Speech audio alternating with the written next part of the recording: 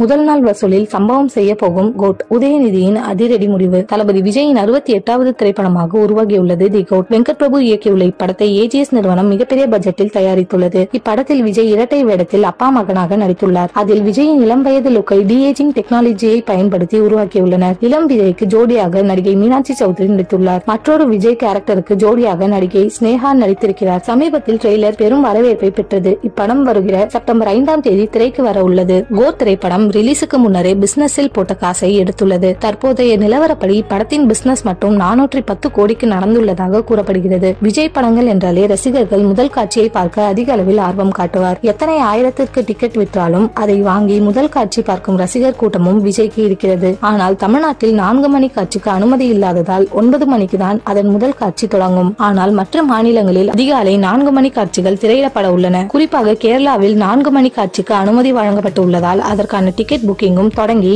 விறுவிறுப்பாக நடைபெற்று வருகிறது. அதேபோல் கர்நாடகாவிலும் அதிகாலை காட்சி திரையிடப்பட வாய்ப்பு இருப்பதாக கூறப்படுகிறது. விஜய் மற்றும் திமுக தரப்பிற்கு ஆரம்பத்தில் இருந்து சில உரசல்கள் இருந்து வருவதாக செய்திகள் வெளியாகின. கோட் படத்தை ரோமியோ பிக்சர்ஸ் ராகுல் தியேட்டர்களில் விநியோகம் செய்கிறார். இந்த படத்தை ரெட் ஜெயின் மூவிஸ்க்கு கூட கொடுக்காமல் சில உரசல்கள் இருந்து வருவதாகவும் சொல்லப்பட்டது. ஆனால் சமீபத்தில் உதயநிதி பெருந்தன்மையாக விஜயின் கோட் படம் ரிலீஸ் ஆகிற நாளன்று எந்த படமும் ரிலீஸ் செய்ய வேண்டாம் என ரெட் ஜெயின் மூவிஸ்க்கு கட்டளை போட்டிருக்கிறார். கோட் படம் படம் அனைத்து தியேட்டர்களிலும் ரிலீஸ் ஆக வேண்டும் என மற்ற படங்களின் ரிலீஸையும் தள்ளி வைக்கும்படி கூறியுள்ளார். இதனால் இதுவரை தமிழ் படங்கள் செய்யாத முதல் வசூலை கோட் செய்யும் என எதிர்பார்க்கப்படுகிறது. கிட்டத்தட்ட ஆறாயிரம் தியேட்டர்களில் கோட் ரிலீஸ் ஆக இருக்கிறது.